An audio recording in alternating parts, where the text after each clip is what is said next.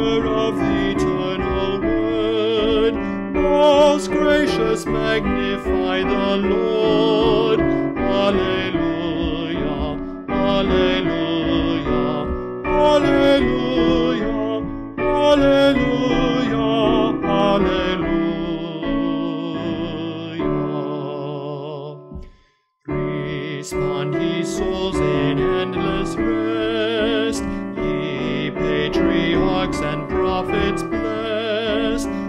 Alleluia, Alleluia. Ye holy twelve, ye martyrs strong, all saints triumphant raise the song.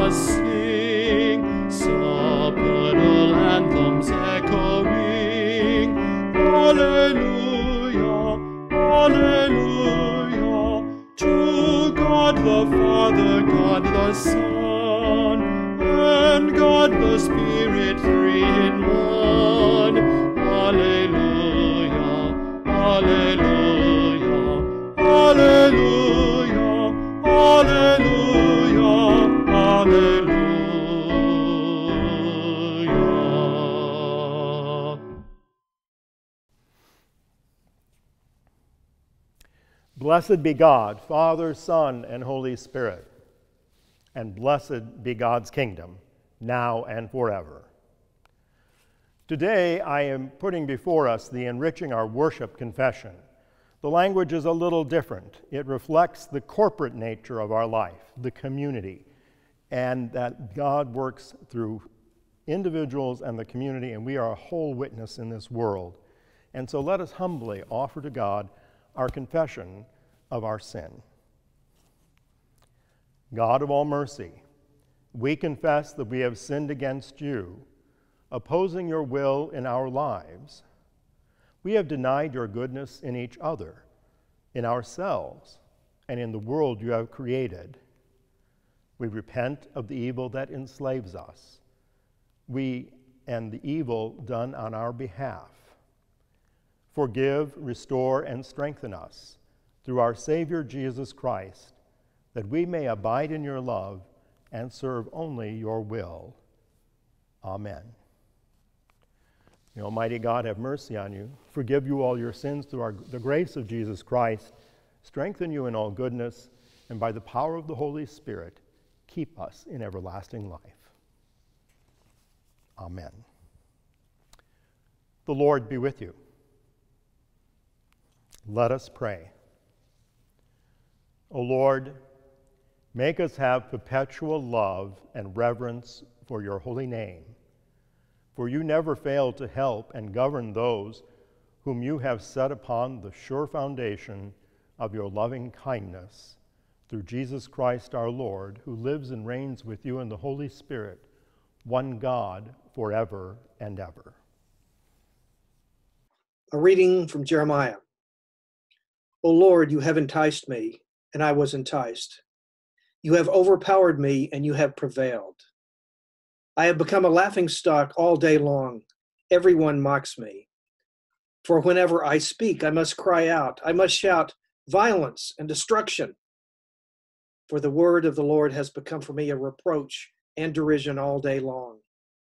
If I say, I will not mention him or speak any more in his name, then within me there is something like a burning fire shut up in my bones.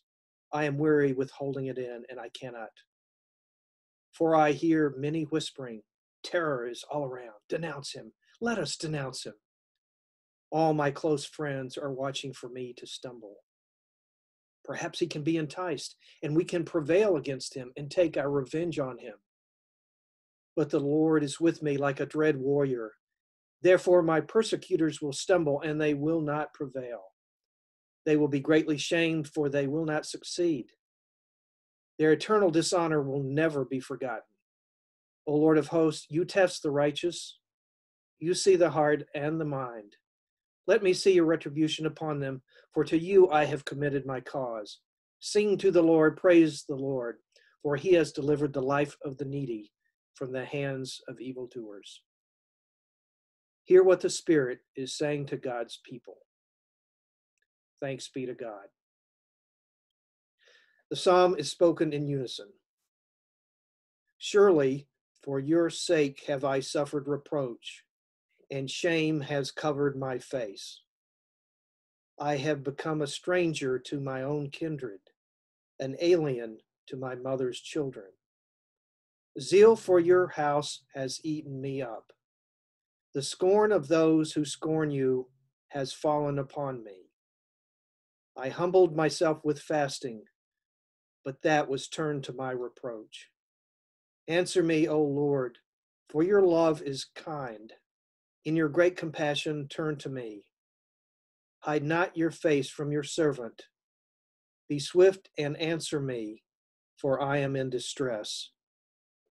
Draw near to me and redeem me. Because of my enemies, deliver me. A reading from Matthew.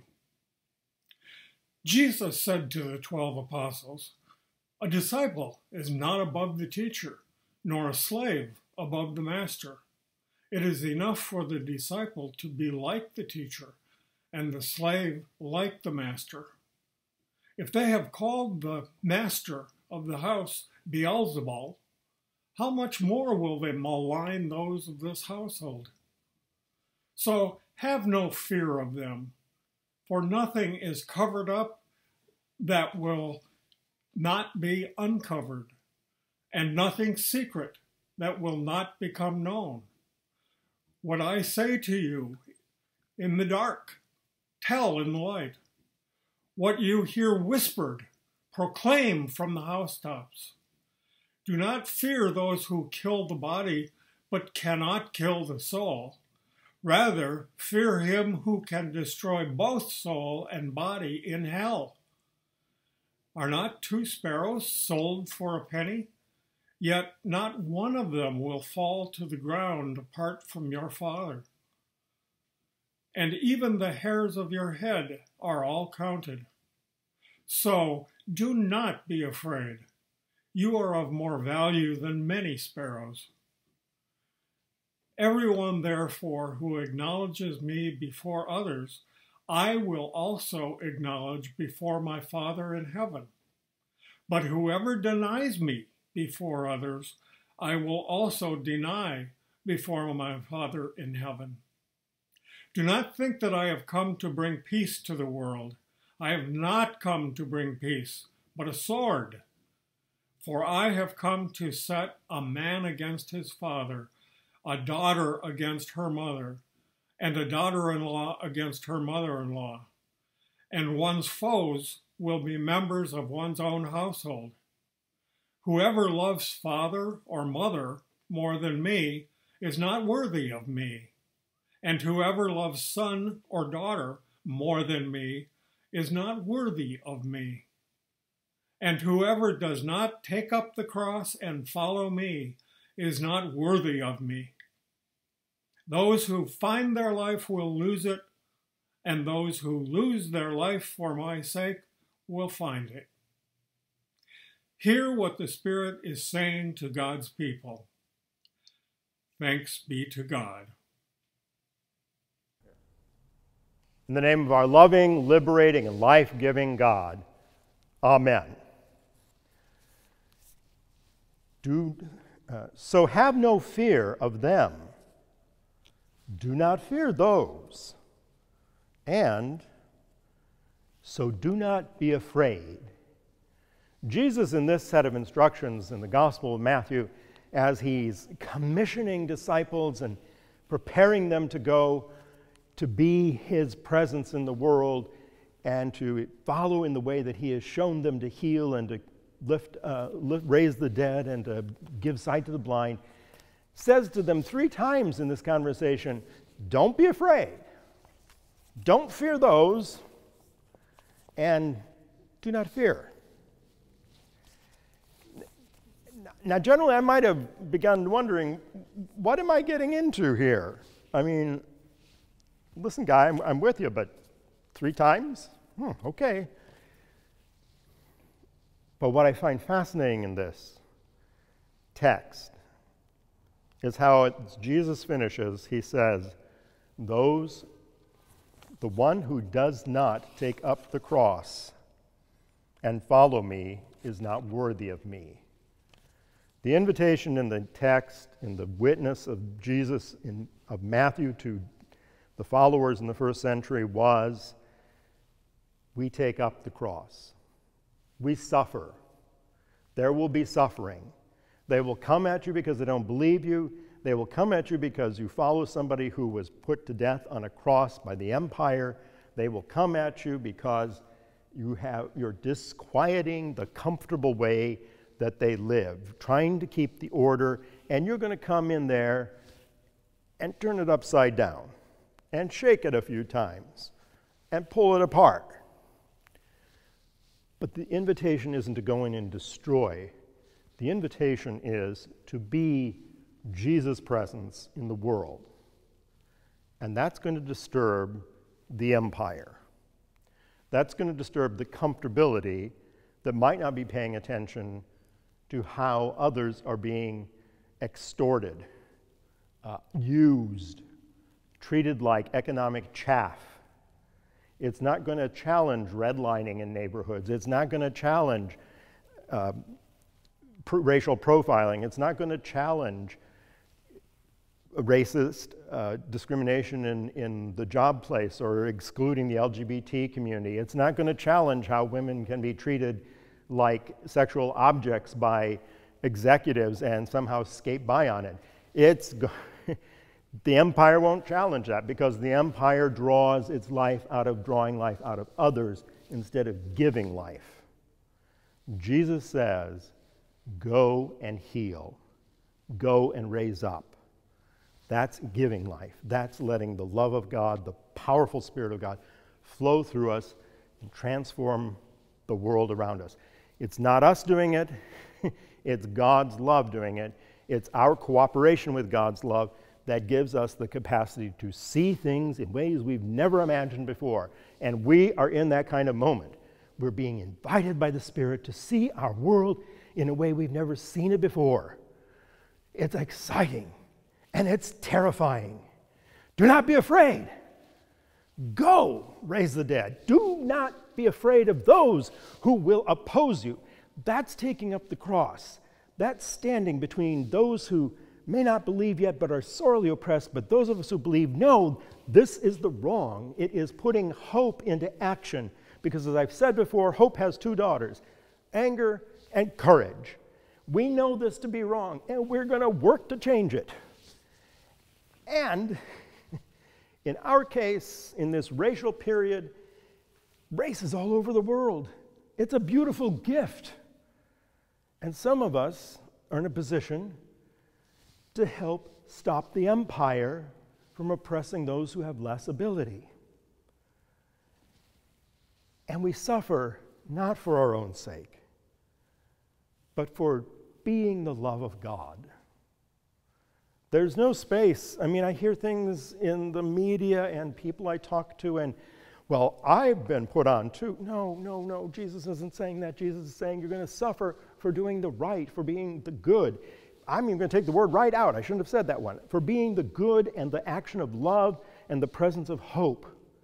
And that's going to start with listening, with hearing the story of other people, brothers and sisters, the he, the she, the they who are in our community who have something to share because sharing their story is the most intimate act a person can do with us. It opens us, like a tabernacle, to have that precious gift of life put in reserve with us. And we cherish it. And then we do this funny thing. We turn around and we share our story. And next thing, this is my brother. This is my sister. I would, they, I would protect them with my whole life. I will suffer crucifixion. I will bear that cross. So that the empire has no more say. As will there be evil? Well, there'll be evil. Jesus didn't say we'd get rid of it, but he did not say, don't bother. We are invited, compelled. We are the children of God to walk in this world and bear the transformative grace to end social isolation, racial profiling, economic injustice. Some of us doing it. I can well imagine some of us doing it in the right, in the right, doing the right thing in a certain job, and you lose the job because of it. That's why we have community. We really get back to Acts. I'll save that for another moment.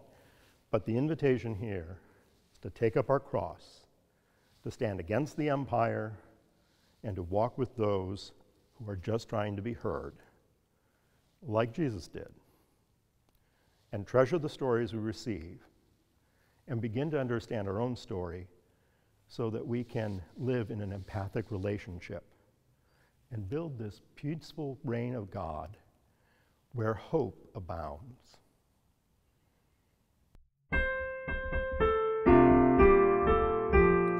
Glory to God in the highest, and peace to his people on earth.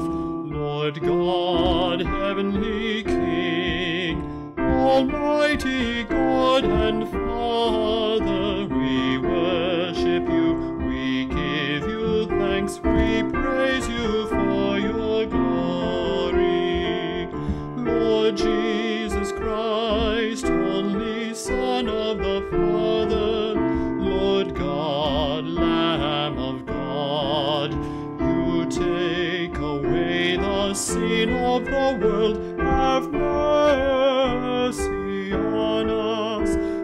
seated at the right hand of the Father. Receive our prayer, for you alone are the Holy One. You alone are the Lord. You alone are the Most High. Jesus Christ with the Holy Spirit in the glory of God the Father. Amen.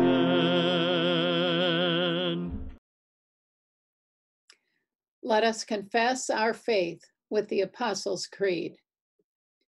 I believe in God, the Father Almighty, creator of heaven and earth. I believe in Jesus Christ, his only Son, our Lord. He was conceived by the power of the Holy Spirit and born of the Virgin Mary. He suffered under Pontius Pilate, was crucified, died, and was buried. He descended to the dead. On the third day, he rose again. He ascended into heaven and is seated at the right hand of the Father. He will come again to judge the living and the dead. I believe in the Holy Spirit, the Holy Catholic Church, the communion of saints, the forgiveness of sins, the resurrection of the body, and the life everlasting. Amen. Let us pray for the church and for the world. God, you are beyond our knowing, yet you love us completely and show us the way to love without limits. We praise your name. For this earth in its beauty, we praise your name. for the wisdom and commitment of leaders. We praise your name. For those with birthdays, Dale, Jerry, Susan, Carl, Randy, Michelle, and Sean. We praise your name. For those with anniversaries, Eric and Kari, and Randy and Nancy. We praise your name. You are the source of solace in every need.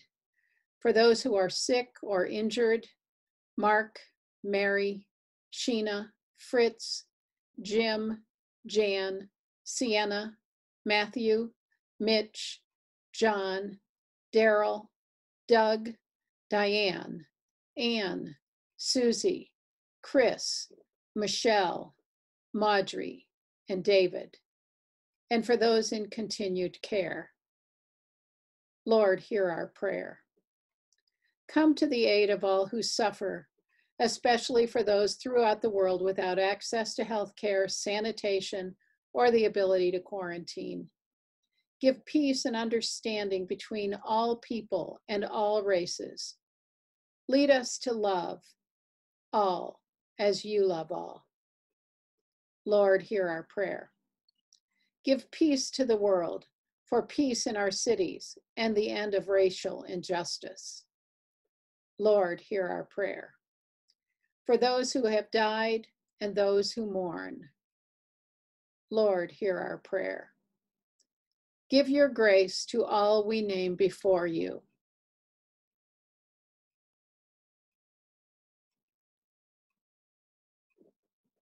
Hear our prayer.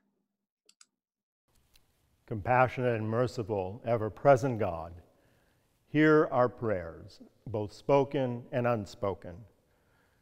Walk with us as we follow in Jesus' way to bring hope and life and love to the world. We ask this in His name, humbly in unity with the Holy Spirit, with you, one God, forever and ever. Amen. As we continue, uh, word, just please be paying attention. We are looking at how we might regather as community. Uh, much has to be done. We're still not quite there in terms of safety uh, and numbers of COVID. But our mission continues. So do please remember uh, to send your pledge or contributions in uh, to support the work we do here and the work we do in the community. Thank you. And now, in the words that Jesus has taught us, let us pray Our Father, who art in heaven, hallowed be thy name. Thy kingdom come, thy will be done, on earth as it is in heaven. Give us this day our daily bread, and forgive us our trespasses, as we forgive those who trespass against us. And lead us not into temptation, but deliver us from evil.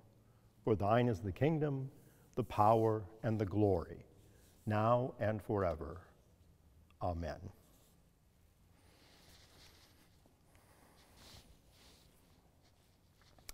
Let us bow our heads and pray God's blessing.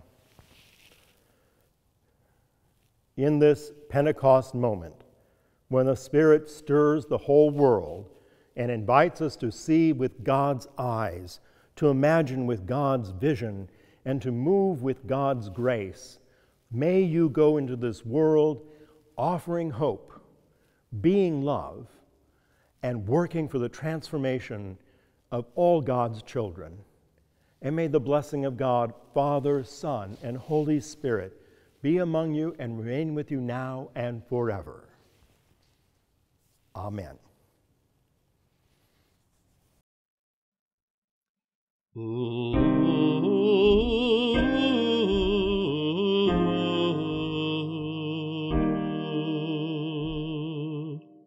Lord of all hopefulness, Lord of all joy, whose trust ever childlike no cares could destroy, be there at our waking and give us,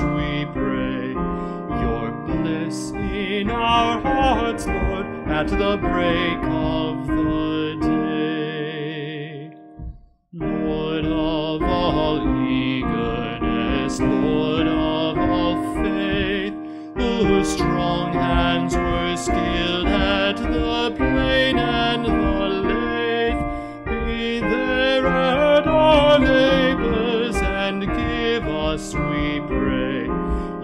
in our hearts, Lord, at the noon of the day. Lord of all kindliness, Lord of all grace, your hand swift to welcome, your arms to embrace. Be there at our homing and give us,